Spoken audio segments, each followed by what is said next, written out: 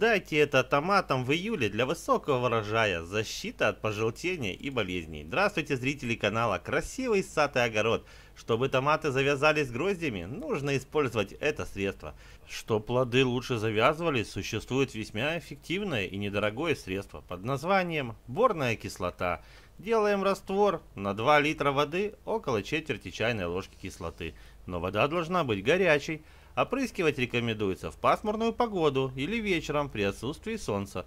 За сезон предпочтительно 2-3 раза провести процедуру. Опрыскиваем по листу.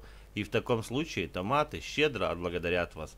Промежуток между каждым опрыскиванием составляет от недели до 10 дней. Ну а завтра я вам расскажу еще одно народное интересное средство подкормки томатов. Хочешь увидеть? Подпишись на канал, Поставь этому видео лайк. И завтра встретимся вновь. До скорых встреч. Пока-пока.